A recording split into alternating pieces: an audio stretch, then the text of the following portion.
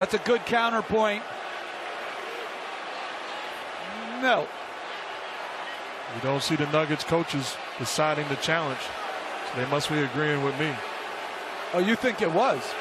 No, no, I think it was contact. No, he said you think it was.